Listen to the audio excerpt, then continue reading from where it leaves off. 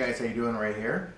Uh, today what I what I have with me is the Schecter Sun Valley Shredder um, guitar I picked up I guess just a little uh, a little under two weeks ago and um, I've kind of been in this mode of wanting to try some of the uh, different uh, guitars that are out there that I normally would steer not clear from but I've had a few uh, different Schecters, and I, would say uh, one of my favorites Schecters was actual C1 Hellraiser. I have a couple of variations of that guitar over the years. Um, but I've been impressed with Schecter. I think you get a good bang for the buck. I think their guitars are reasonably priced. I think this thing was around 600 bucks or something. And they boast that it has all the hot rodded parts of, uh, you know, that a shredder guitar of this type would have. So I've been giving it the rundown with my um, Mesa, uh, the RA, and then also I've got a uh, triple rectifier and then my little dual rectifier, uh, little mini rectifier here, which is an awesome amp, by the way. Um, kind of giving it the rundown and uh, testing it out and been fairly impressed with this guitar, to be honest with you. Uh, solid body guitar, uh, retroactive pickups, which was something I was a little uh, unfamiliar with. I've been um, no stranger to the EMG pickups. Uh, it's the first time I've actually played the retroactive pickups. And um, as I'll show you here in a little bit, I was actually fairly impressed with the ability to kind of go back and forth between anything from a clean to a mid-heavy to a little bit more of a heavy.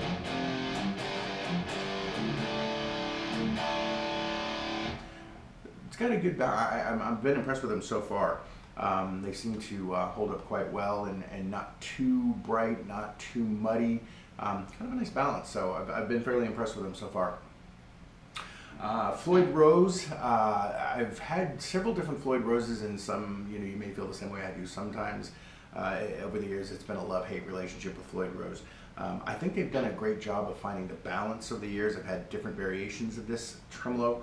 Um, I was a little skeptical because when it comes to Floyd Rose, I want to make sure um, you know you're not getting some of the less quality, if you will, or unlicensed, I guess they, they call it. Um, this is called their uh, their uh, I believe this is their hot rod version of the Floyd Rose here. Um, sometimes you know when you're using your Floyd, bring it back up, tuning is an issue. I will say right off the bat, I have yet to find a tremolo that has worked as well as this one with regards to tuning. I mean, when I'm talking, I haven't touched the tuning on this thing. I, I mean, I don't touch it when I pick it up. All my other guitars, every one of my guitars, I pick them up no matter what. Winter, summer, played it yesterday, played it 10 minutes ago. There's always some fine tuning. I literally don't touch the tuning on this guitar, even using the bar. It's been really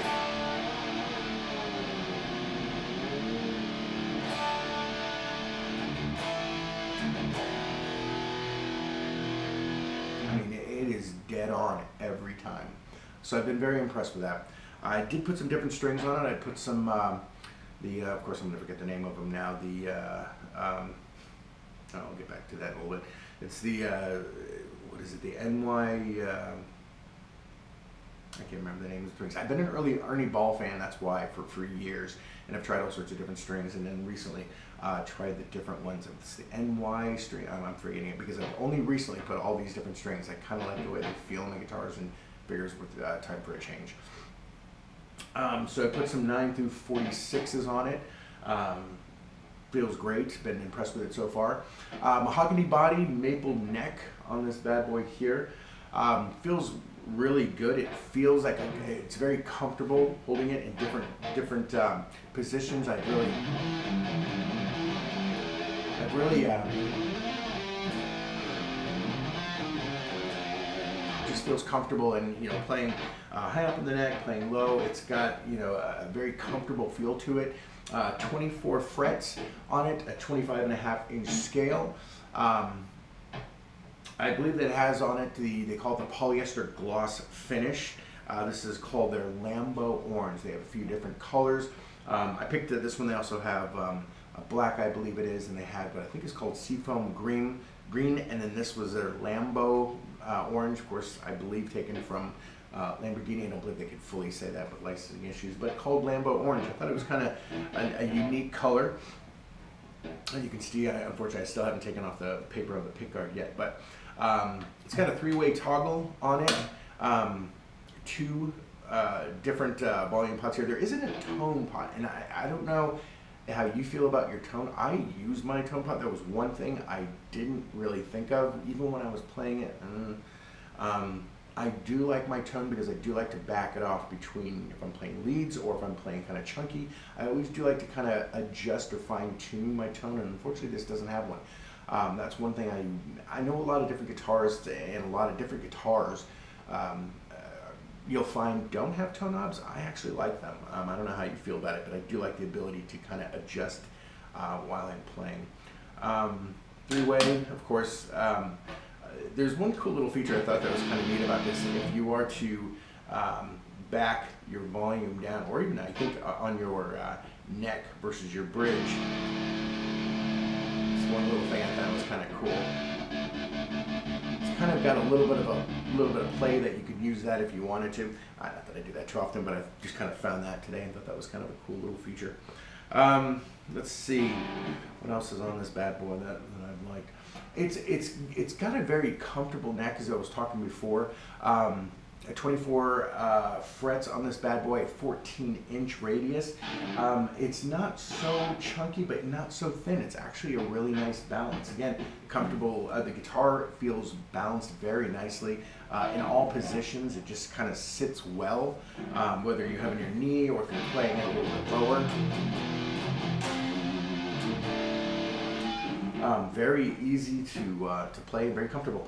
Um, locking tuners on the neck up here, I have adjusted that uh, when I put the different strings on it, tighten it once, um, and I literally have not touched them since. It, has been really, really uh, a player's guitar. We're not having to mess with anything on this thing. Um, these are the J03M tuners on it. The Schecter uses a few different versions uh, from their own brand of Schecter. Uh, the JO3Ms is what's on this one. Of course, they also use Grover tuners and then some different variations of those. With some of their guitars, like their C1, I believe, uses the Grovers, one I have. Um, I do love the Grovers, and I'm a big fan of Grover tuners. Put them on a lot of my different on my uh, my guitars. These are not bad, especially with the locker, you're locking um, uh, nuts up here. Kind of put it in, and then kind of you don't have to really mess with it. So it's been a good guitar so far. I have played around with some tuning, of course, when you're messing with your uh, we have Floyd Rose, of course. Um, now, I can't confirm this because I'm trying to find uh, confirmation, but from what I've read and from what I've talked to different people in the ears, adjusting the action of the guitar. When you buy this guitar, the action was set very high. I mean, high. Um, right off the shelf, um, really high up. Um, these two little Allen keys right here, and I have read and I've owned Floyd Rose before where you can you can damage the knife edges on these here. Um, I am hearing that to adjust this, tighten it to lower the action, loosen it to raise it. I'm a little nervous until I can actually get some confirmation on that. Um, a couple of different a couple of different luthiers have said yes, that's fine. I've even reached out to Schecter. I want to make sure um, I have damaged the knives before, the edges on these, um, and so I want to be very careful with that. Um, other than that, it's been a it's been a really fun guitar. Sorry for a little noise and turn it off. Uh, one of the other features I think is pretty cool when you are adjusting. Um, if you are going to use a different set of strings, or if you want to adjust your string action, um, if you want to, um, or adjust your tuning, I'm sorry, um, it's got easy access. You don't have to take the plate off, which I thought was pretty cool. You can adjust um, the screws right here on the claws and you know kind of tighten up and loosen as needed. And again if you are adjusting for your tuning uh, one of the best things of course is block it um, adjust your tuning set it and then dial in your tuning here which a couple different tricks that I found was pretty neat. Stable put a new battery in it. Um, of course probably don't need to adjust the battery too often. I don't think it's much of a drain on it. But um, again it's been a really good guitar. I have had several different types of guitars. As you know I have multiple guitars um, everything from Les Pauls to some different types of shredders. I didn't really see that. I never really felt the C1 was a shredder. It was a good, chunky, hard guitar. Um, I, I, I, don't know. I never really felt like it was much. It, it does leads great, and I, I it play, but it was a great chunky guitar, and that's what I really enjoyed about the C1. This guitar definitely feels like it's been made um, for you know. Bends on this thing is extremely easy. The neck, just real. It's got a very smooth feel to it, and it's enjoyable to play. So I've enjoyed it. I've uh, actually done a couple of um, tracks so you can hear, hear it. Uh, some heavy stuff as well as some clean stuff, and so we'll play some of that for you now. Give you a chance to kind of hear what the guitar sounds like. I'll be playing it through um, uh, Mesa RA and then some also through Mesa um, triple rectifier and dual rectifier. So uh, take a listen, see what you. I know it's kind of hard to tell, but at least give you some understanding. Uh, you may be familiar with the sounds of the the Mesa, uh, so now you can kind of get a, a, sense of what this sounds like, both with clean and um, with some of the heavier stuff. So let's give